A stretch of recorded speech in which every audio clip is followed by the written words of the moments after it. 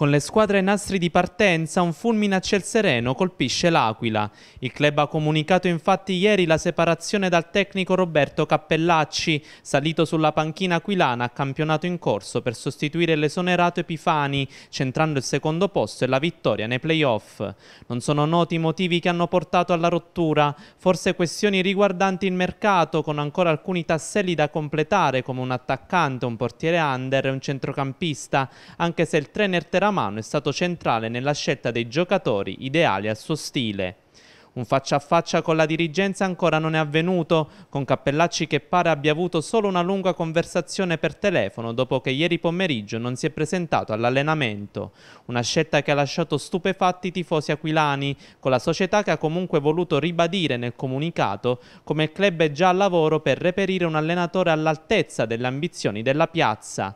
Dopo un primo sondaggio per Augusto Gentilini, il nome forte sembra essere quello di Giovanni Pagliari, ex Monza e Frosinone, con un passato anche sulla panchina rossoblù.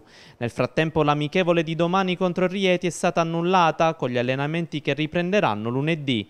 A dirigere la squadra dovrebbe essere per ora il vice Michele De Feudis, ma insieme a Cappellacci potrebbe fare le valigie anche tutto il suo staff tecnico, compreso De Feudis.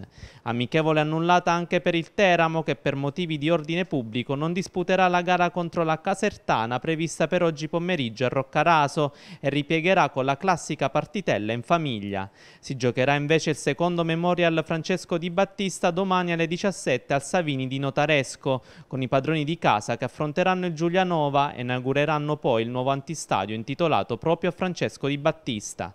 I tori rossoblù sono attivi anche sul mercato con la riconferma del centrocampista classe 2003 Marzio Di Bartolo.